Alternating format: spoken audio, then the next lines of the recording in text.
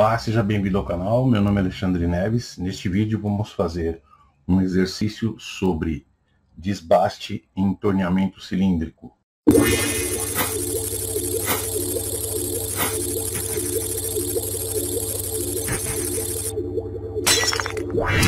Temos aqui um exercício onde pede para realizar o torneamento cilíndrico de desbaste de acabamento de um eixo de aço 1035 normalizado com resistência à tração de 520 megapascal.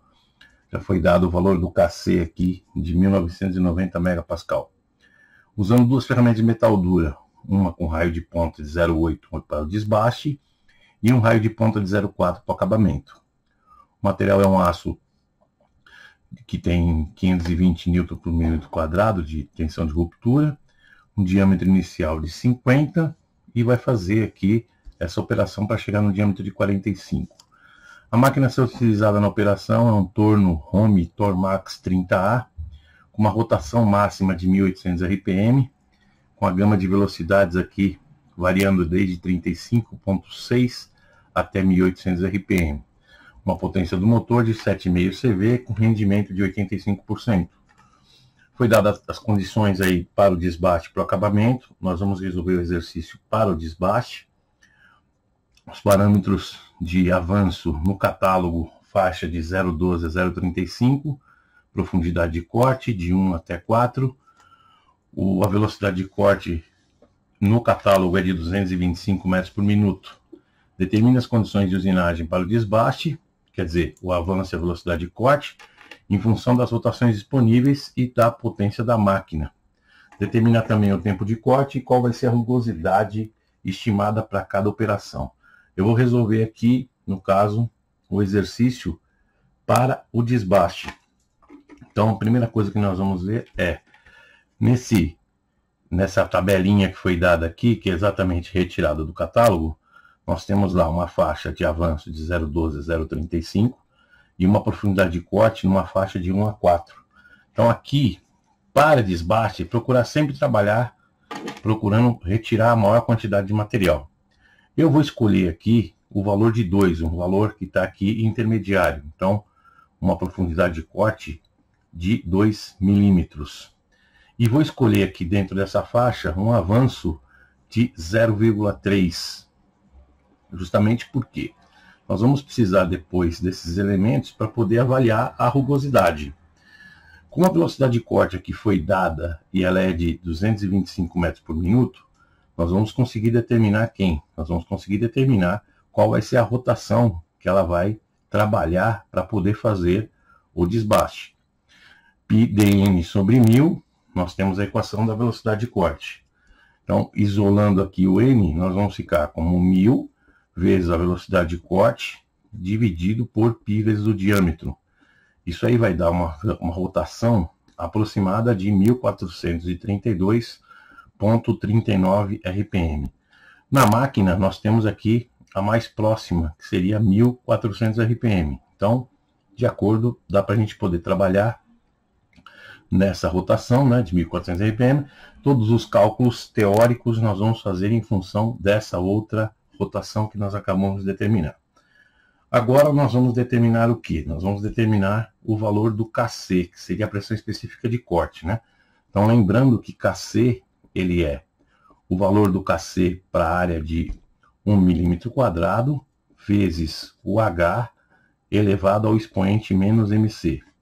Lembrando que esse H ele corresponde a avanço vezes o seno do ângulo capa elevado a menos MC. Então, no caso, nós estamos aqui com H. O avanço que nós escolhemos é de 0,3. O ângulo capa aqui é um ângulo de 60 graus. Então, vai ficar um seno de 60 graus elevado a menos MC. MC nós temos que olhar lá na tabela para esse material. Então, aqui para esse material 520 N por minuto quadrado, o valor do KC é 1990 e 1 menos MC seria 0,74. Então, se 1 menos MC é 0,74, nós vamos usar aquela regrinha, né? 1 menos MC igual a 0,74. Então, Então daqui a gente vai tirar aqui menos MC, vai ser igual a 0,26. Então esse, esse cara aqui, ele vai ficar como sendo um 0,26 no nosso expoente, né? Então seria 0,26 aqui em cima. Com isso, nós vamos encontrar aqui um valor de H. Esse valor de H nós vamos trazer para cá. Então, KC ele vai ser igual a 1990 vezes o H, que seria 0,3, vezes o seno de 60, elevado a 0,26.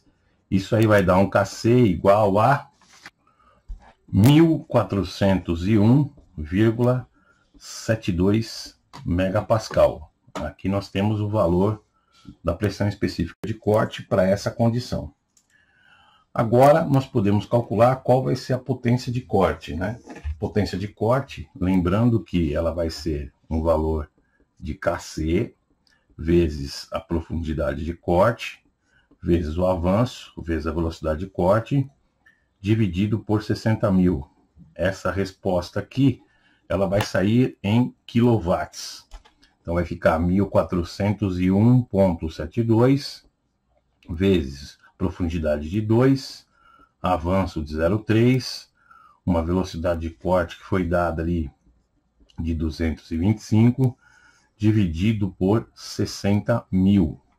Então, com isso, nós vamos chegar aí numa potência de corte de 3,15 quilowatts, que corresponde a aproximadamente aqui 3.154 watts.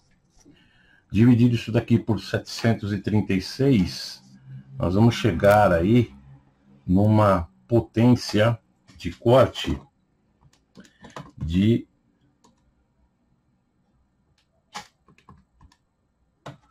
quatro vírgula vinte e nove CV. Lembrando que para descobrir a potência da máquina, eu pego a potência de corte e divido pelo rendimento. No caso, potência da máquina, para poder realizar essa operação, vai ser 4,29 dividido pelo rendimento ali que foi dado, que é de 0,85, 85%. Então isso aí vai dar uma potência para realizar esta usinagem igual a 5.04 CV. Como a nossa máquina possui 7,5 CV, tem potência de folga para poder trabalhar nessa operação de desbaste. Agora nós vamos calcular o tempo de corte. Então, tempo de corte, ele vai ser um comprimento dividido pela rotação vezes o avanço. Lembrando que esse comprimento, a gente vai pensar sempre no seguinte, nós temos aqui 90 milímetros, nós vamos ter que deixar aqui uma quantidade aí chamado do comprimento de arranque, né? Que é a aproximação da ferramenta. Vamos deixar aproximadamente aí 2 milímetros, que é usualmente o que a gente trabalha. Então, o tempo de corte vai ser de 90 milímetros, que é a região onde vai ser realizado esse desbaste, mais os 2 milímetros, que seria o comprimento de arranque, dividido por avanço 0,3, a rotação que nós estamos trabalhando de 1432,39. Lembrando que isso aqui é o teórico, porque nós estamos trabalhando com o valor nominal aí, né? E aqui nós vamos ter um tempo de corte de aproximadamente 0,214 minutos, que vai corresponder aí a aproximadamente 12 846 segundos. E agora falta calcular a rugosidade. Então, a rugosidade para o desbaste, ela vai ser calculada através dessa fórmula, 0.03125 vezes o avanço ao quadrado dividido pelo raio de ponta. Então, essa rugosidade RA vai ser de 0.03125 o nosso avanço aí é de ponto 3. O raio de ponta para o desbaste é um raio de ponta de 0,8. Então isso aí vai trazer como resultado uma rugosidade RA de 3,5 vezes 10 a menos 3 milímetros, que corresponde a 0,35 microns, que também atende à classe de rugosidade que está especificada aqui, que é a classe N6. Aqui nós temos uma classe de rugosidade que consegue respeitar essa condição, e mesmo porque ainda nós temos a operação de acabamento, que nós não fizemos aqui. Nós só fizemos para a operação de desbaste. Então aqui nós temos a potência da máquina, aqui nós temos a potência de corte, aqui nós temos o fator KC, e aqui nós temos qual é a rotação de trabalho. Então, respondidas as perguntas aí, que seriam das condições de usinagem, para o desbaste, avanço e velocidade de corte, ou melhor, avanço e profundidade de corte, o tempo de corte e também a rugosidade. Espero que vocês tenham gostado desse vídeo. Se vocês gostaram, deixa o like, faz inscrição no canal, ativa as notificações e até o próximo vídeo.